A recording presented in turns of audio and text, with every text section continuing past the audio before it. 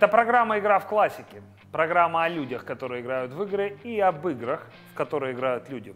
Говорим об актуальном, вспоминаем классику. Меня зовут Платон Беседин. Добрый вечер.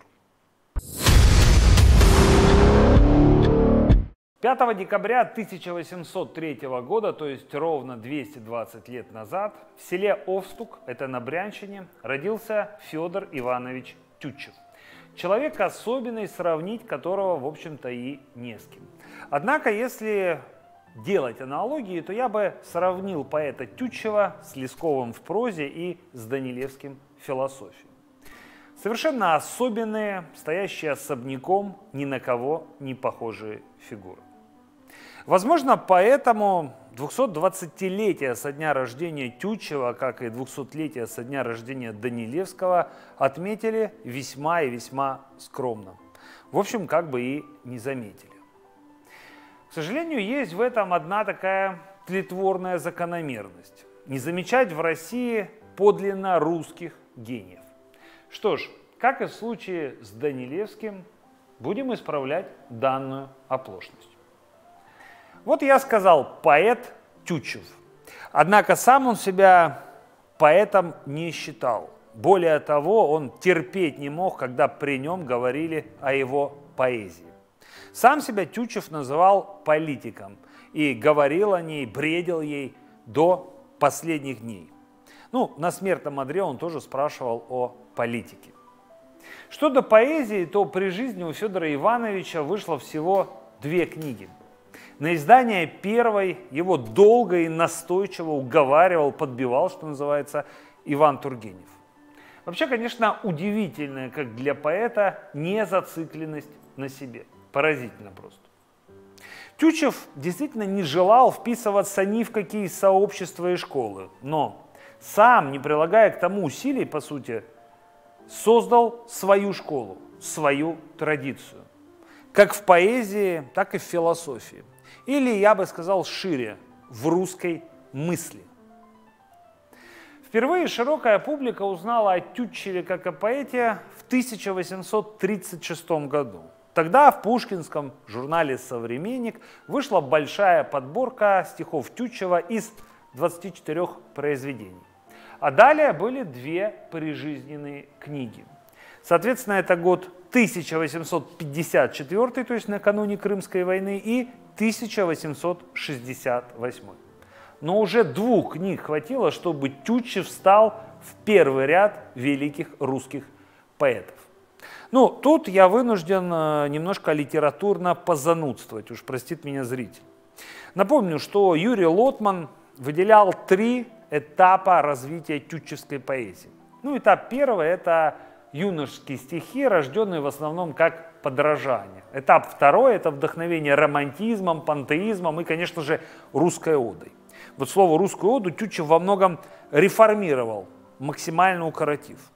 И, наконец, после десятилетнего перерыва следует так называемый Денисевский цикл. Денисева – это третья возлюбленная поэта и, соответственно, емкие политические стихотворения.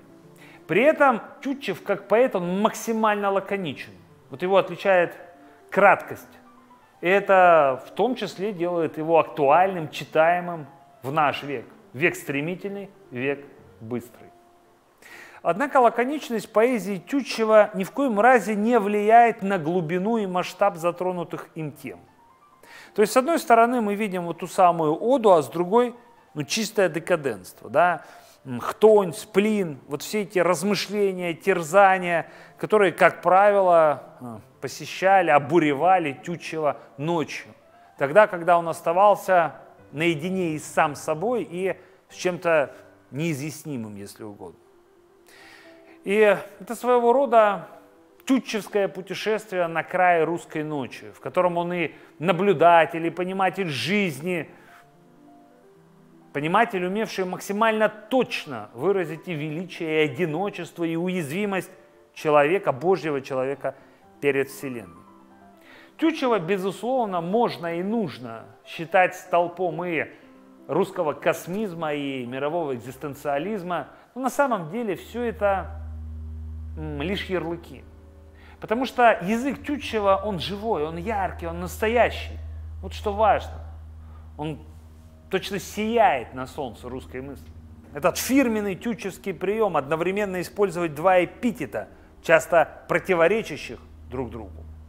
То есть Тютчев максимально убедительно говорит и о любви, и о политике.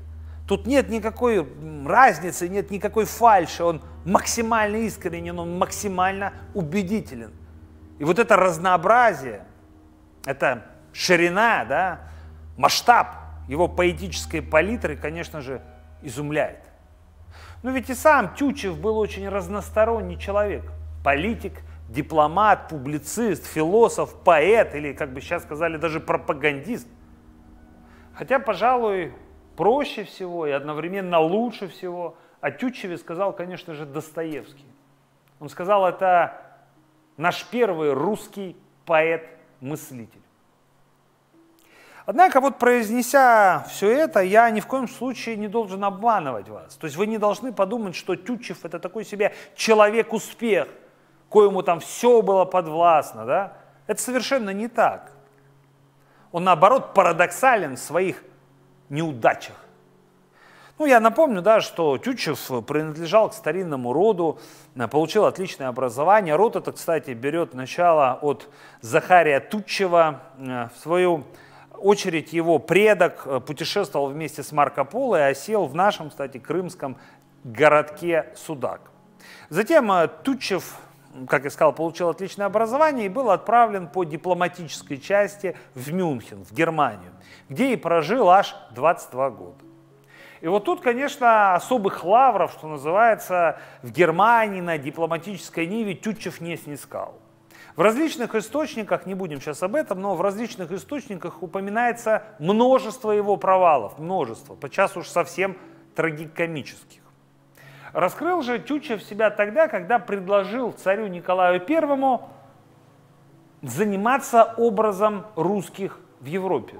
А образ этот тогда, как и сейчас, был ну, карикатурен и неприятен. Это такие русские варвары, которые хотят поработить и уничтожить цивилизованный мир.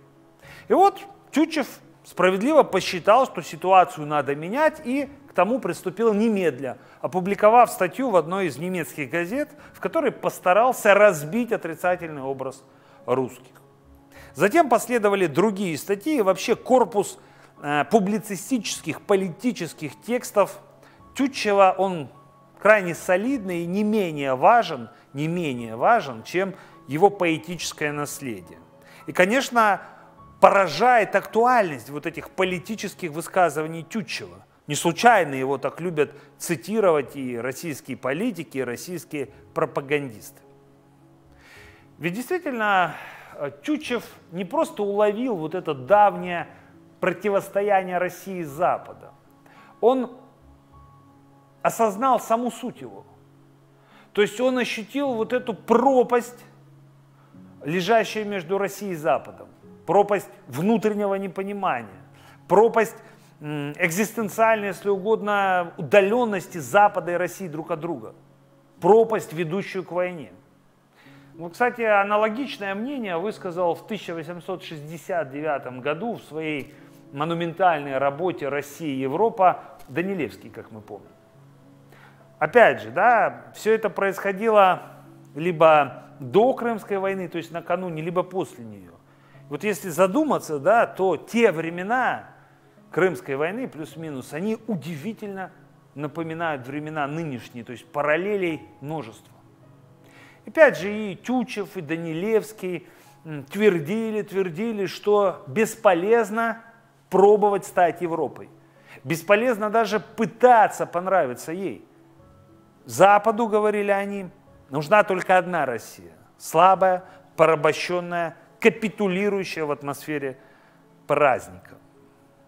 На самом деле сейчас мы нечто похожее слышим, слышим с телеэкранов. Правда, без отсылок к Тютчеву, к Данилевскому. Однако Тютчев формулировал вот эту позицию очень емко, ясно, аргументированно, а главное искренне. Ну а, соответственно, русский путь, конечно же, он видел в первую очередь в православии и в панславянизме, то есть в укреплении русской культуры, русского языка. Ну и да, мы все помним э, первые строки его программного стихотворения «Молчит сомнительно восток, повсюду чуткое молчание». Ну и далее. Тючев, казалось бы, да, проживший 22 года за рубежом, он удивительно точно понимал Россию, удивительно точно. И, э, к слову, две его официальных жены, они же тоже были иностранками. Напомню, да, очень коротко. Первая Элеонора Петерсон. Умерла она, к сожалению, вскоре после страшной катастрофы на пароходе. Там она встретилась с Вяземским, с Тургеневым, и во время этой катастрофы вела себя героически. И вот на тот момент у Тютчева, когда умерла его первая супруга, уже была другая возлюбленная, тоже иностранка, Эрнестина Дернберг. Элеонора, первая супруга, о любовнице мужа знала, то есть она даже пыталась покончить с собой, да? И тем не менее, Тютчев, когда она умерла, настолько переживал ее смерть, имеющую уже любовницу, да, что буквально посидел у гроба. Опять же, также он сошелся и с третьей своей возлюбленной. Будучи со второй, он сошелся с третьей, с Еленой Денисевой, которая вдохновляла его, прежде всего, на тот денисевский цикл. То есть вот такая вот двойственность. И при этом э, нужно сказать, что Тютчеву с женщинами-то как раз-таки очень повезло. Это мечта любого русского писателя. Они любили его, они гасили его долги, закрывали всякие там долговые ямы, вдохновляли, направляли и так далее. А он то с одной, то с другой. Да, Тютчев был удивительно парадоксален и в отношении женщин, и вообще вот человек парадокс по жизни. Но вот что поразительно, ведь именно в этой парадоксальности Тютчев и напоминает саму Россию, потому что вся Россия, она из контрастов.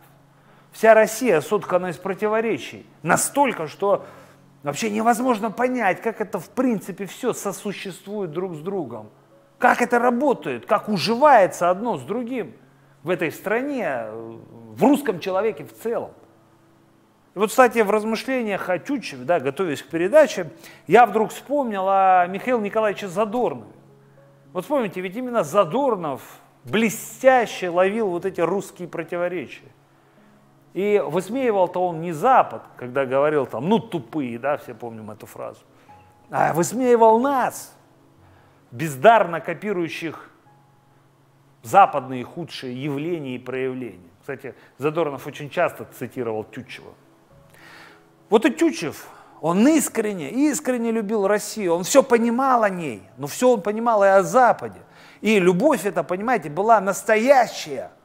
Это не был такой вот э, халуйский какой-то патриотизм. Это не было желание выслужиться, как у современных мыслителей. Нет, это был искренний патриотизм.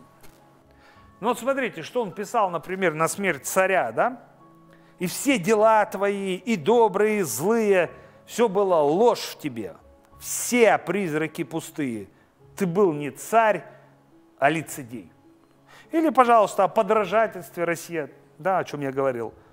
Куда сомнителен мне твой, святая Русь, прогресс житейский. Была крестьянской ты избой, теперь ты сделалась лакейской.